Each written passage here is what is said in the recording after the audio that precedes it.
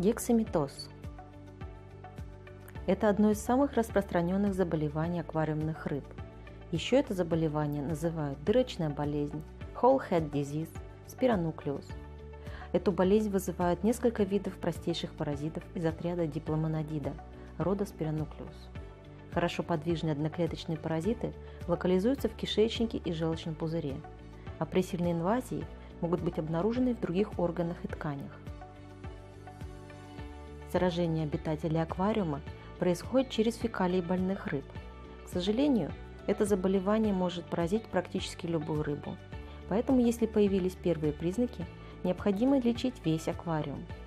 Наиболее часто гексаметоз поражает цихловых рыб, астронотусы, красные попугаи, флауэрхорны.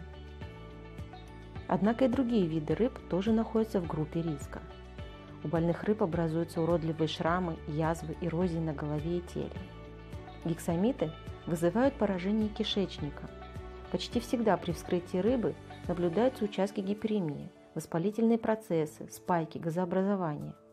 О том, как это выглядит под микроскопом, вы можете увидеть в моем фильме «Гексаметоз у скалярии». Ссылка дана в описании к этому видео. По этим причинам кишечник не может нормально выполнять свою функцию – всасывать питательные вещества, поступающие с пищей. В результате происходит нарушение обмена веществ. Организм не усваивает белки, жиры, углеводы, микро- и макронутриенты. Все это приводит к разрушению хрящевой и костной ткани. А язвы, эрозии и нарывы, которые образуются на голове и боковой линии, это уже последствия нарушения обмена веществ.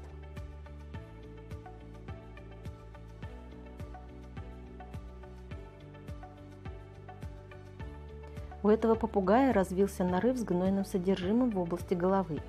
В его фекалиях я обнаружил огромное количество флагелят гексамид. Поэтому сомнений в постановке диагноза нет никаких. Это однозначно гексаметоз.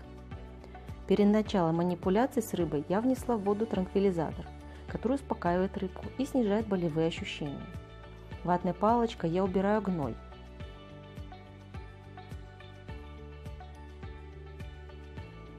В этом случае мне пришлось воспользоваться дополнительным пинцетом, так как содержимое нарыва было довольно плотным и извлечь его только палочкой не представлялось возможным.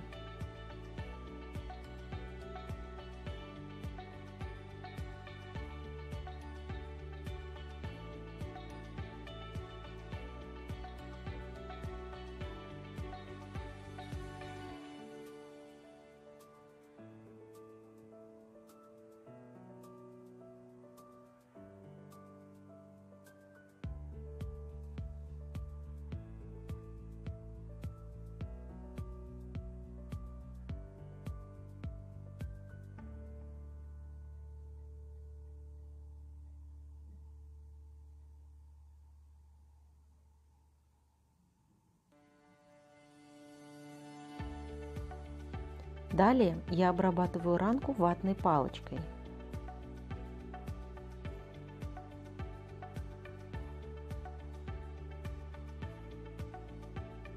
И затем палочкой, смоченной в 10% растворе бетадина.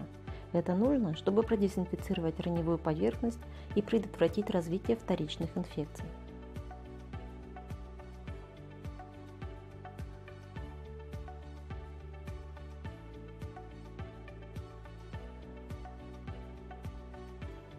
Теперь давайте рассмотрим содержимое нарыва под микроскопом.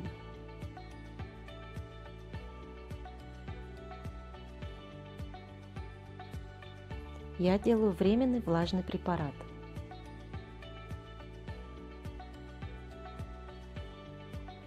Здесь мы можем видеть только гнойное содержимое, образованное в результате разрушения тканей. При запущенной болезни в этом эксудате можно увидеть клетки самого возбудителя заболевания – флагелят.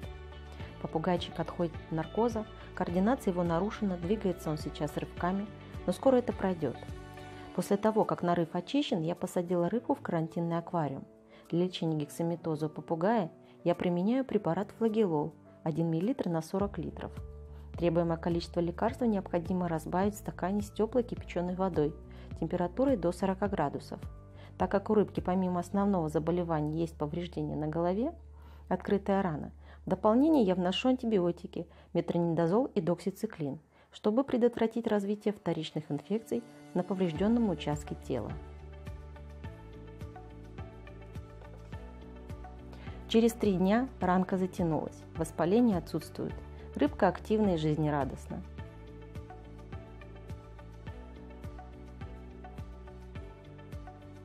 А через неделю на месте сильного нарыва остался маленький рубец.